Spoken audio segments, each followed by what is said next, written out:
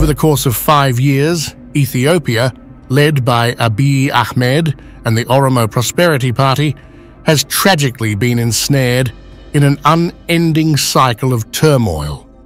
This relentless stream of conflict, characterized by a heart-wrenching propensity for bloodshed, has left an enduring scar on the nation. The puzzling question at hand is why Ethiopia, under Nobel laureate Abiy Ahmed's leadership, has experienced successive cycles of violence, despite his initial promise of peace. This conundrum necessitates a closer examination of the underlying factors behind this turmoil, particularly Abiy's rapid shift between conflicts and the unprecedented bloodshed during his tenure. Why does Abiy, along with his loyal Oromo political base, seem to constantly shift from one conflict to another, with Eritrea now emerging as the latest focal point of interest? The unsettling prospect of another major war hangs heavily over the region. There's a critical question that needs to be asked. Can Ethiopia endure more bloodshed especially after enduring five years of violence in regions like Amhara, Tigray, and Afar? Can he govern without resorting to bloodshed, states of emergency, or civil war? What drives his inclination to be trigger-happy, to retaliate, to instigate, and fuel hatred, and his insatiable thirst for violence and bloodshed?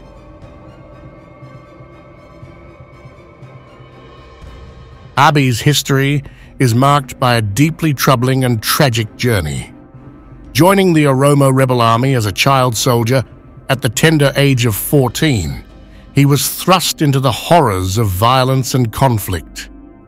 Child soldiers like Abiy at that time endure a spectrum of psychological hardships, facing the grim reality of participating in or witnessing acts of brutality that lead to desensitization and emotional detachment.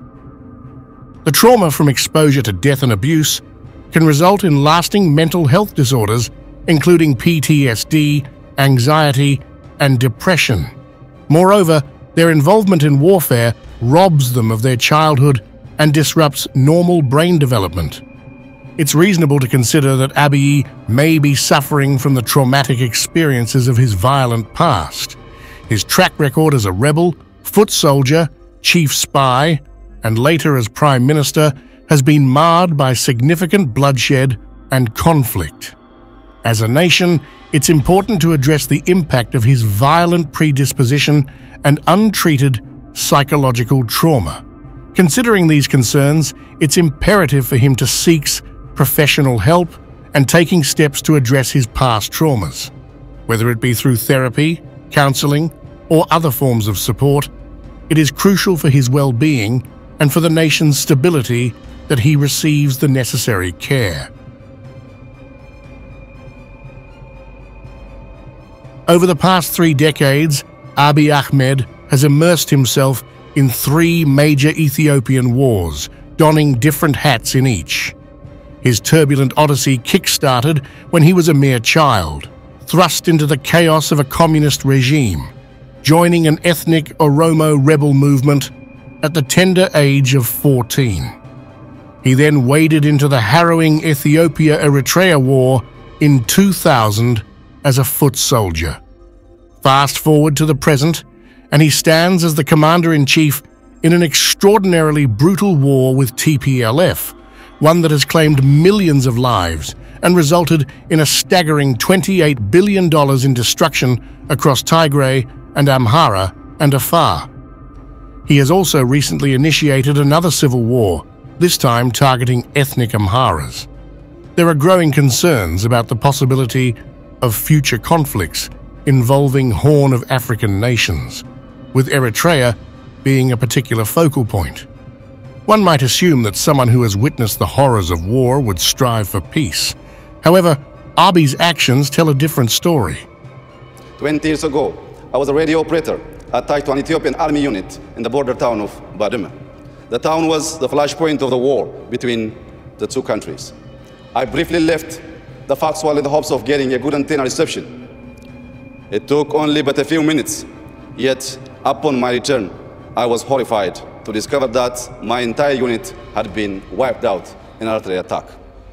I still remember my young comrade in arms who died on that ill-fated day. I think of their families too.